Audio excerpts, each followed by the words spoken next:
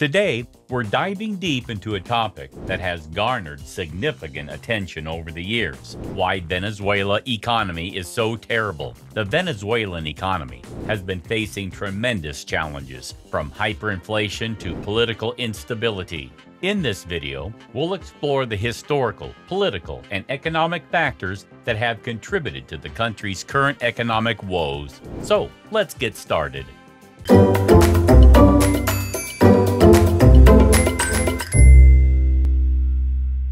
11. Historical context.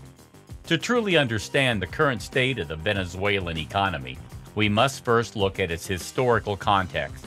Venezuela was once considered one of the wealthiest nations in South America, thanks to its vast oil reserves.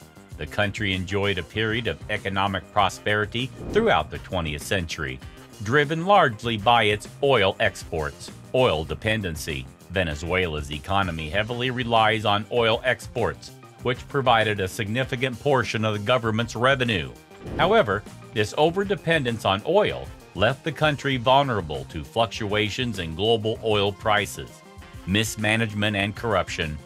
Despite its wealth, mismanagement and corruption started to plague the Venezuelan economy wealth was concentrated in the hands of a few, and this unequal distribution of resources contributed to social unrest.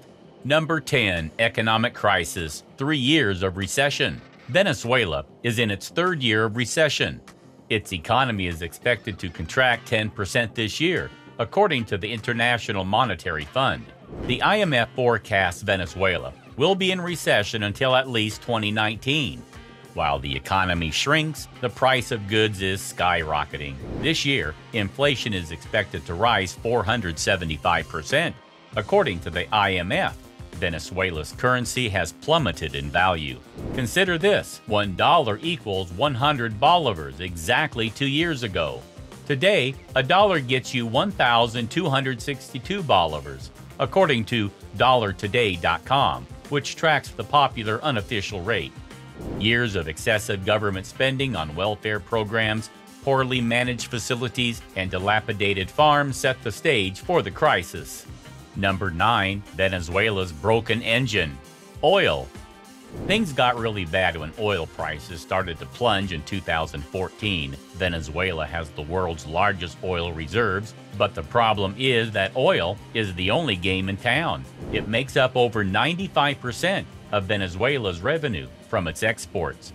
If it doesn't sell oil, the country doesn't have money to spend. Oil prices were over $100 a barrel in 2014. Today, they hover around $50 a barrel, after dropping as low as $26 earlier this year. The problem is that Venezuela has not taken care of its cash cow, squandering opportunities to invest in its oil fields when times were good. Because the country has neglected with the upkeep of its oil facilities, production has dropped to a 13 year low. Venezuela's state run oil company, PDVSA, hasn't paid the companies that help extract its oil, such as Schlumberger SLB.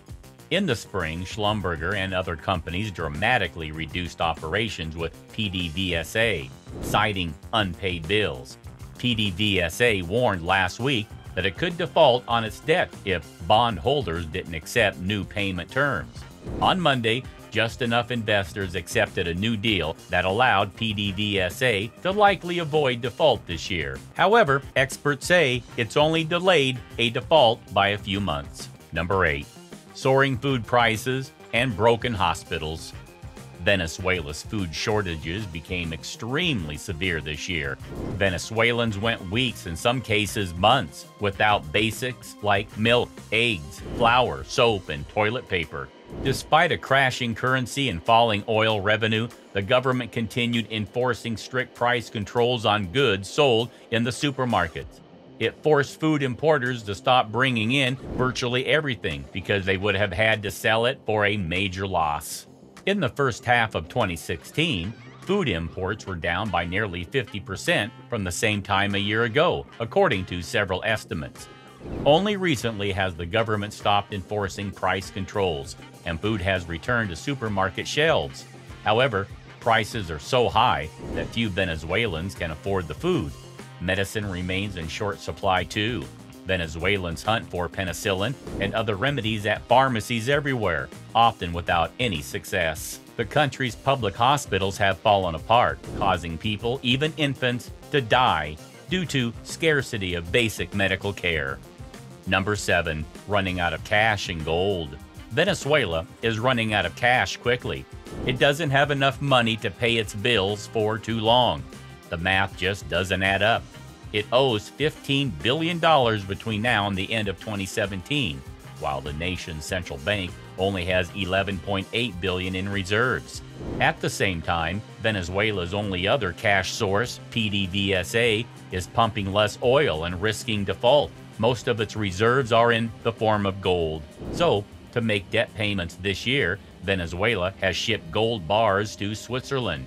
China used to bail out Venezuela and loan it billions of dollars, but even China has stopped giving its Latin American ally more cash. Number 6. Political factors. The political landscape of a country plays a crucial role in shaping its economy. In the case of Venezuela, political factors have significantly impacted its economic trajectory. Rise of Hugo Chavez. The late President Hugo Chavez came to power in 1999 and implemented a series of socialist policies aimed at addressing income inequality and poverty. While some of these policies were initially popular, they eventually had unintended consequences, populism and economic policies. Chavez's policies included nationalizing key industries, which led to decreased private sector investment and inefficiencies in state-run enterprises. Additionally, his government implemented price controls on basic goods, leading to shortages and a thriving black market. Decline in rule of law. The erosion of the rule of law, attacks on independent institutions, and limited press freedom undermined investor confidence in the country. This resulted in reduced foreign direct investment, hampering economic growth. Number 5. Economic factors. Beyond historical and political factors, economic mishaps have played a significant role in the deterioration of Venezuela's economy. Hyperinflation. One of the most glaring issues is hyperinflation. The Venezuelan government resorted to printing money to finance its deficit, leading to a vicious cycle of rising prices and dwindling purchasing power. Currency devaluation. The bolivar, Venezuela's national currency, faced severe devaluation due to economic mismanagement. This made imported goods expensive and fueled inflation further. Dependency on imports. Despite being an oil-rich nation, Venezuela became heavily reliant on imports for basic necessities. This vulnerability was exacerbated by the decline in domestic production, leading to shortages of essential goods. 4. International factors. It's important to note that international factors have also played a role in Venezuela's economic troubles. Oil price volatility. Global oil prices have been subject to extreme volatility, impacting Venezuela's primary source of revenue. A steep decline in oil prices severely affected the country's ability to generate income. Sanctions and isolation. The international community imposed sanctions on the Venezuelan government due to concerns over human rights violations and democratic erosion. These sanctions limited the government's access to international markets and further hindered economic recovery. 3. Humanitarian crisis. The cumulative effects of these factors have resulted in a dire humanitarian crisis in Venezuela. Poverty and malnutrition, rampant inflation, and economic instability have pushed millions of Venezuelans into poverty. Malnutrition rates have surged, particularly among vulnerable populations. Healthcare collapse. The healthcare system has collapsed, with shortages of medicine and medical supplies. This has exacerbated health issues and led to increased mortality rates. Mass migration. The economic crisis has triggered a mass wave of migration as people seek better opportunities abroad. This brain drain has long-term implications of the country's recovery. 2 potential pathways to recovery. Despite the challenging circumstances, there are potential pathways to recovery for Venezuela's economy. Structural reforms. Implementing structural reforms that encourage private sector investment, address corruption, and improve the business environment could help stimulate economic growth. Diversification of economy.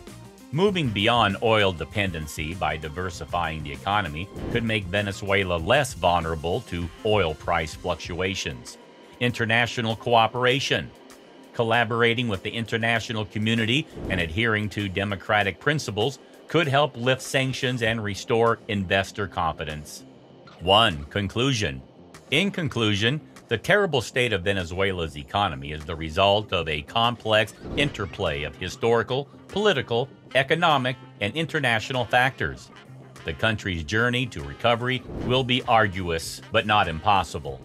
As global citizens, understanding these factors is crucial in fostering empathy and awareness about the challenges faced by the Venezuelan people. Economic diversification will be an especially difficult climb for Venezuela, given the scale of its economic and political collapse over the last decade.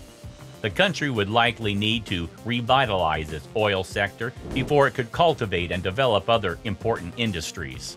But this would take enormous investment, which analysts say would be hard to come by given Venezuela's unstable political environment, trends in oil demand, and rising concerns about climate change. Please subscribe to Travel the World. Thank you for watching.